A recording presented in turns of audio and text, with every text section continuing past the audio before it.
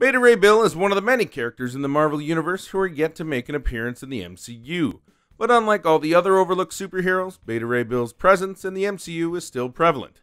Sure, the hero may not have made a physical appearance, but do you remember the Easter egg in Thor Ragnarok? There was a Beta Ray Bill statue on the Grandmaster's Tower. Alright, fine, maybe it was a physical appearance. But it's not like it was actually a living, breathing Beta Ray Bill. The next mention, or well, lack of mention, around Beta Ray Bill was actually in the script of Avengers Endgame. Obviously, there's no way it would have been missed by the watchful eye of the Marvel fandom if he was even subtly referenced. But because it was only in the script, it makes sense why it took us this long to discover it. It was first pointed out by Reddit user Master Hayes 710, who says there's a moment in the script where the scene takes place in the home planet of the Korbinite race.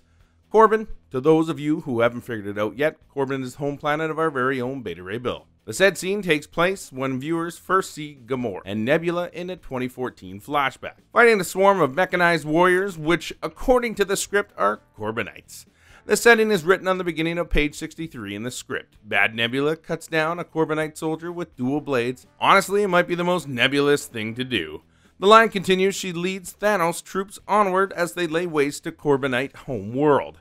This would have been a perfect opportunity to introduce Beta Ray Bill to the team up and maybe just see him take on Gamora or Nebula head on, or maybe even both of them together. But alas, Joe and Anthony Russo had other plans for the film, which, well, as we saw, had nothing to do with Beta Ray Bill.